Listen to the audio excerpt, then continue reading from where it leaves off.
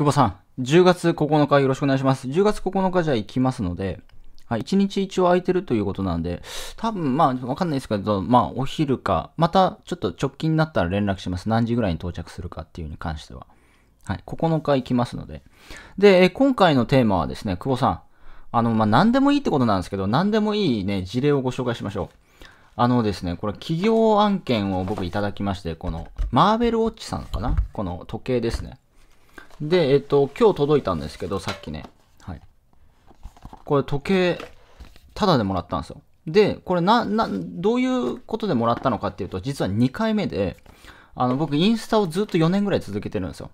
でも僕のインスタって時計僕はほとんどしないですね。で、時計の写真とかも全くないんですけど、あの、2回ももらいました。で、まあ、あの、以前、その、インスタグラムのセミナー、フォロワーが3000人ぐらいの時にセミナーやったんですけど、結構好評で、で、そこから続けて、まあ、もう4年ぐらいやってるんですけど、で、今、フォロワーが7000今日、7000いくらだ？今、フォロワーが、フォロワーに関しては7700、もうちょっとで8000人いくかなっていう感じですね。で、大体常時いいねが、えー、300、ん常時いいねが、まあ、ものによりますけど、400から600、700ぐらいのいいね数があるっていう。まあ、今、そのインスタっていいね数ちょっと表上で見れないようになってるんですけど、まあ、ずっと続けた結果、なんと企業さんからね、あの、レビューしてくれと。僕、時計あんましないのに。これすごくないですか？ちょっとびっくりして、しかもこれなんか僕に似合わないおしゃれな感じなんですよね、これ。これちょっとしっかりレビューしようかなと思うんですけど。なんかこれね、まあ、久保さんも、まあ、これは、まあ、町内会のやつに関してはね、そうだろうっていうのは僕はわかりますけど、いや、僕ね、企業、時計全くしないのに、で、別にその、ね、おしゃれな感じでもないし、なんかもう、ラーメンアップしたりとか、なんかもうぐちゃぐちゃなんですよ。だから統一性全くないですね。僕のインスタグラムって。普通、その空だったら空、ファッションだったらファッションっていうか結構統一してるアカウント多いんですけど、僕全く統一してないんですよ。もうぐちゃぐちゃな感じです。YouTube と一緒です。で、それで来たっていうね。しかも2回目。これ2回目っていうのがビビり、ビビりましたね。またお願いしますみたいな。だからまあ、結局、まあ、この動画で何が伝えたいのかっていうと、発信しなければ何も始まらないってことです。だ久保さんも町内会の発信をしなければ、その町内会コンサルも始まらなかったわけですよ。だつつまり、すべての起点は発信ってことです。わかります？だ発信しなければ奇跡は生まれない。もう奇跡ですよ、僕からすると。2回目はね、さすがにちょっとビビりましたね。2回、え、ま、またくれるんすか？これ、ただでもらったんですけど。え、またいいんすか？みたいな。すいません、またお願いできますか？みたいな来て。お、全然いいっすけど、僕でよければ、みたいな。マジビビりましたね。うん。で、結構これなんか、あれですね。あの、なんか今、まあ、僕、ファッション雑誌とか見ないんでわかんないですけど、まあ、こんな感じでね、手紙も来てて、あの、で、なんかクーポンコードとかもあって、で、クーポンコード入れると、なんだ、その、なんだ、僕か、僕から買いましたっていうのがわかんのかな ?10% オフで買えるみたいな。まあ、それもちょっと入れた方がいいのかな？うん。すごいですよね。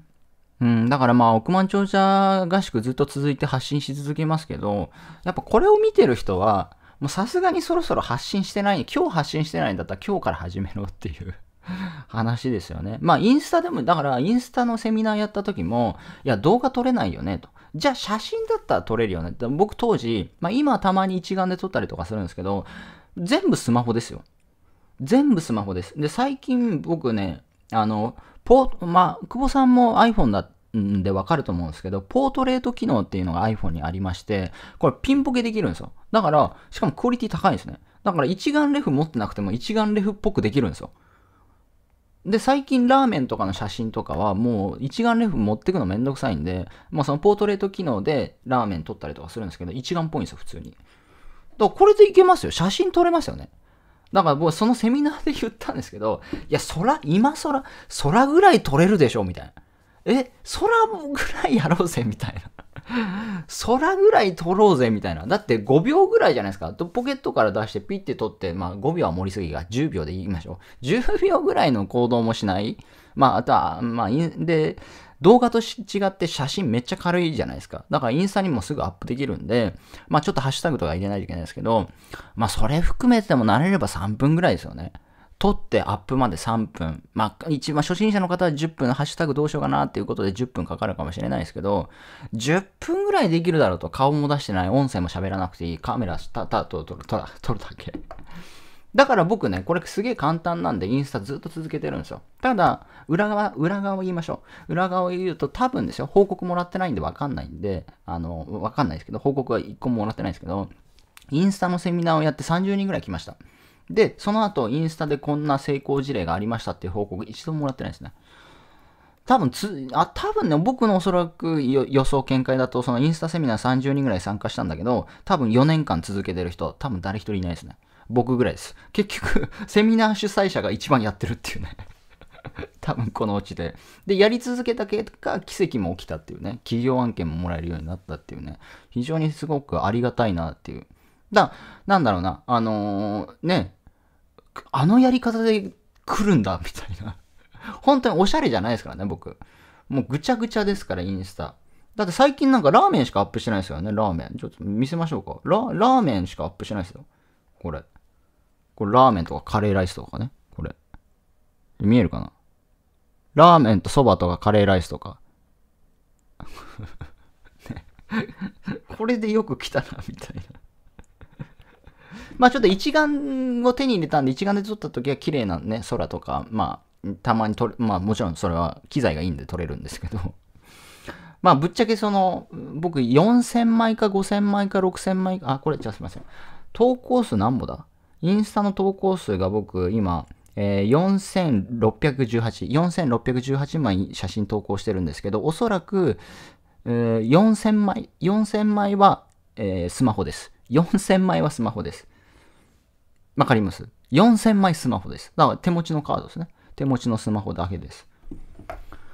だからまあ、写真も撮れないんすかみたいなね、セミナーでも言ってましたが、撮りましょうよっていう話をしてましたけど、やっぱ発信しなければ何も始まらないので、発信をしろってことですね。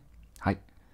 久保さん、あの、くまた、あの、なんだっけ、そうそう、11月9日、ちょっとスケジュール入れたんで、11月9日、2人でね、発信しましょう。2人で発信しましょう。億万長者合宿のオチは、もう言っと、まあ、結構言ってますけど、結局、僕と久保さんが億万長者になったっていうオチですから。なぜならば、億万長者合宿、僕たちが合宿してるっていうね、オチとしては。一番僕たち2人合宿しとるよっていうね。多分僕たち以上にね、だって久保さんって億万長者合宿以外の動画も撮ってるし、僕もそうですから、これメインじゃなくてサブのサブですから。ね。で、それでももう2000本超えてるわけじゃないですか。で、これからも続くし、多分、億万長者合宿に参加した、リアルに参加した人以上に僕たちがやるっていうね。なんかよくわかんないですよね。いってらっしゃい。